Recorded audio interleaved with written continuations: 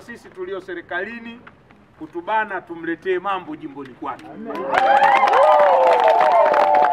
Na imani elfu mbili na ishirini na tano Mama Samia tiki na yeye tiki. tiki.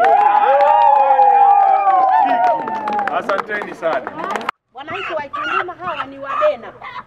Wabena huwa wanapenda mtu akienda nyumbani kwake wa, wa, wa, wafanye kitu kidogo tu wa, wachinje kuku. Wakishachinja kuku, mgeni akila filigisi ndio furaha yao.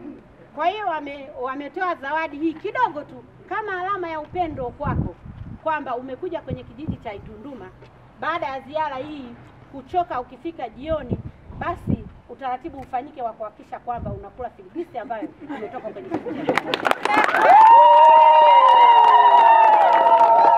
Asante sana. Asante sana mheshimiwa. Sana sana sana.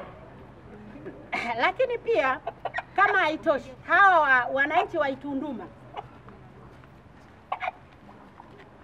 wana wana hawa wananchi wa Itunduma wanaendelea kumshukuru mkuu wa mkoa na mheshimiwa mbunge wa jimbo hili la Rutema. Kwa kweli jamani, nani kama Swale? Mheshimiwa mbunge wetu wa jimbo la Lutembe anatujali sana mno, na akiwa bungeni kule akisikia mwananchi wake anaumwa huku ana kikozi mafua, anapanda gari kuja kumwangalia. Kwa hiyo tunamshukuru sana mbunge. Kwa hiyo tumshukuru mkuu wa mkoa ambaye ameambatana na, na, na huyu mgeni.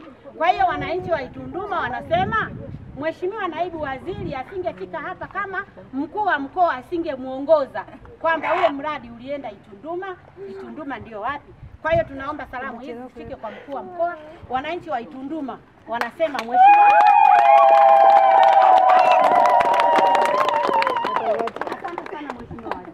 Asante sana. Asante sana. Mumeona kazi ya mheshimiwa mbunge anayofanya hapa. Uongo kweli jamani? Uongo kweli? Hapa tu mlikuwa na kilio cha barabara hapa, alikuja yeye mwenyewe, matokeo mmeyaona hapa, matokeo mnayaona pale kituo cha Mtwango, kile chenu, matokeo mnayaona. Mbunge Swale hoye! Diwani wetu hoye! Mungu abariki sana.